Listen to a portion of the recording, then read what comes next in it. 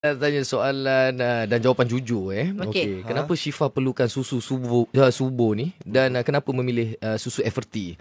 Uh, dan juga kita nak tanya kan, uh, Syifa berkahwin berapa tahun dan cabaran sebenar Syifa untuk mengandung ni sebenarnya?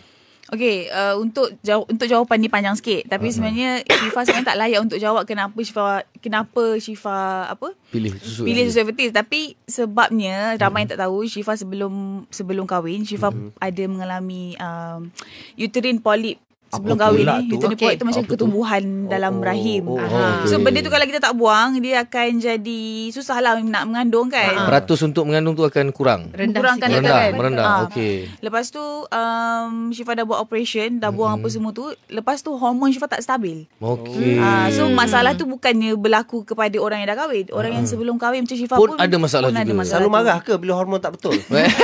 Yalah hormon tak betul. Kan hormon tak betul dia je marah. macam-macam hormon dia. Oh, M. ya ke? Ah. Okey lah, okey. Okey, lepas Ah, tu? Jadi Kemudian? bila Syifa duk bi- Biasalah kita scroll-scroll TikTok So kita nampak doktor Rana Kan selalu share tip-tip semua kan Lepas tu daripada situ Syifa tergerak hati Untuk try susu FT Bila Syifa try uh, Susu tu sebelum kahwin Lepas tu Alhamdulillah Sebulan je kosong Sebulan je kita kosong Which is tak Datang period lah senang Datang cerita. period. Ha. Ah. Lepas tu the next the next month tu dah alhamdulillah dah dah dah conceive. Nak ikutkan hormon Syifa tu tak stabil memang susah nak pregnant. Oh. Ah sebab tu Syifa dah consult dengan doktor memang dah pergi Dah jumpa tahu dengan lah, doktor eh. semua memang dah tahu dah. So dengan bantuan susu FT tu alhamdulillah dah 7 bulan sekarang. Alhamdulillah.